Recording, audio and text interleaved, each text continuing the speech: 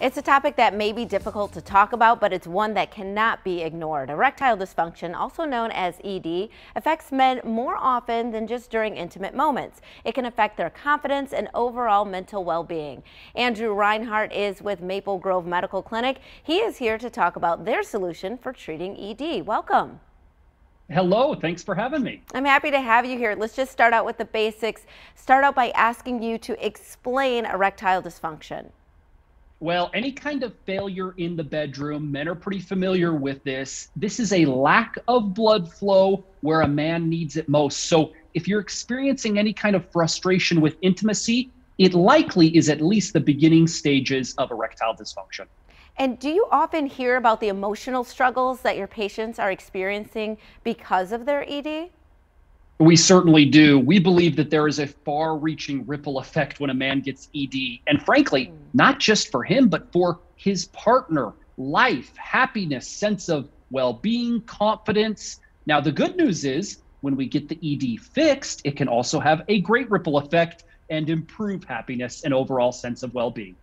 So I'm wondering, how do you help patients feel comfortable talking about a topic that can be quite sensitive? Many men do not want to bring this up with their medical professionals.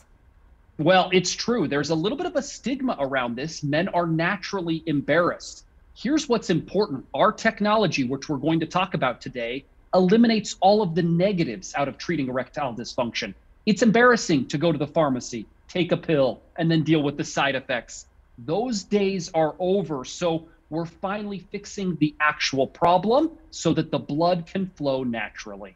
All right, so tell me about this treatment and how it compares to surgery or injections. Well, Maple Grove Medical Clinic uses a technology. It's not a pill, it's not surgery. It's called acoustic wave therapy, and here's what it does it delivers very gentle pressure waves through the skin into the blood vessels, causing clinically, by the way, even from Cambridge University, a clinical study, saying it opens up and regrows blood vessels, improves circulation enough, we can get rid of the erectile dysfunction. That's exactly what we've helped thousands of couples do. And here's the big deal and the reason so many men are doing it no pills, no injections, no side effects, just more blood flow in the bedroom where you want it, when you want it. So, how long should men anticipate the treatment actually taking? Well, it's pretty easy. The average treatment is about 10 or 15 minutes. It's not invasive. Okay. According to uh, the data, the average guy needs a few treatments over about two weeks. It's a pretty short window. Just think a couple of weeks from now, what would your relationship, what would your life look like if the erectile dysfunction were no longer an issue? And once this treatment is done, do they have to go back for more treatment further on down the line, or is this a lasting treatment?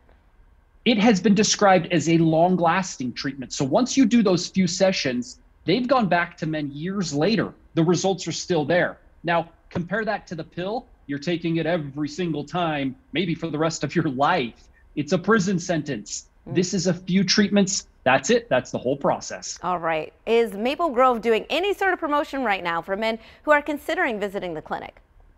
We have a significant value today. Yes, if you are ready to end the erectile dysfunction, get rid of the pills, and regain your love life, grab your phone, call us before this segment ends. The exam, assessment, even the ultrasound will be totally free and a gift that produces immediate results in the bedroom. You'll love it.